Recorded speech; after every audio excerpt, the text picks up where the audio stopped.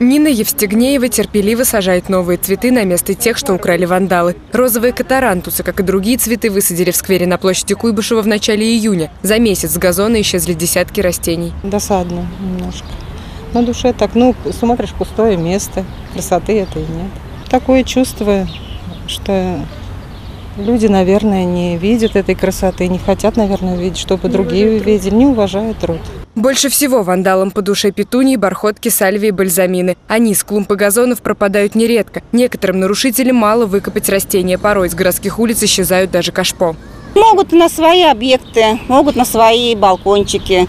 Ну, а могут просто из хулиганских побуждений. Есть такие случаи, что вот просто выдернули и рядом тут же положили. Вот, и оставили. И, естественно, вон без земли растение засохло в течение какого-то определенного времени. И все равно его приходится потом по новой заменять.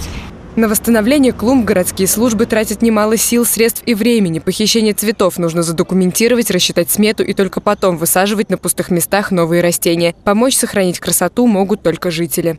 Безусловно, конечно, вандализм – это неприемлемая черта.